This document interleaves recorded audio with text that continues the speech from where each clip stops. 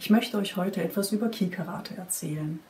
Über ein Prinzip, das wir im Ki-Training nutzen, um unsere Techniken ähm, schnell und äh, dynamisch äh, zu ähm, erzeugen. Und da anhand eines äh, Musikinstrumentes, eines vielleicht für manche bekannten Instrumentes, kann ich euch das sehr gut verdeutlichen. Schaut mal her.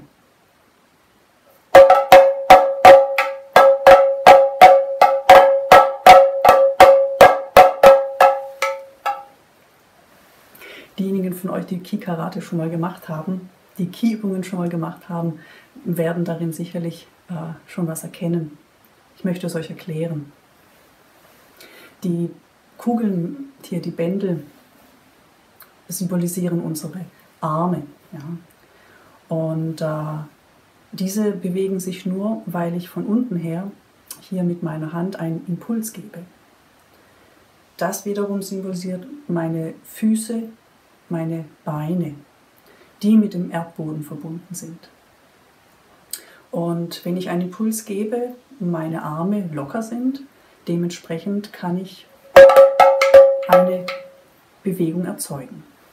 Dieses Prinzip ist eines, ein grundlegendes im, im Ki-Karate und sicherlich auch ähm, in anderen Trainingsmethoden, nur ähm, wird darauf nie bewusst hingewiesen. Im Ki-Karate machen wir das.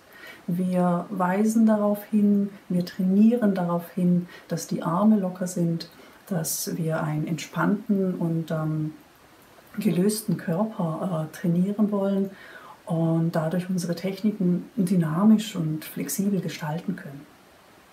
Es gibt äh, mittlerweile zwei Bücher dazu. Ein drittes ist gerade im Entstehen.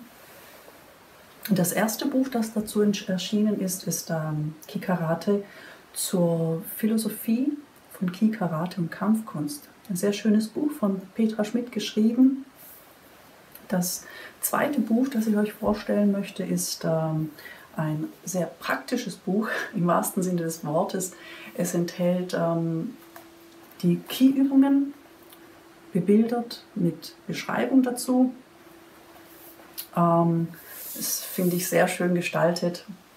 Ähm, Petra Schmidt und ich haben es ähm, geschrieben, herausgebracht und äh, beide Bücher sind beim Christkeitsverlag erhältlich. Ich werde unten ähm, noch einen Link dazu schreiben. Da könnt ihr euch äh, darüber informieren. Ja.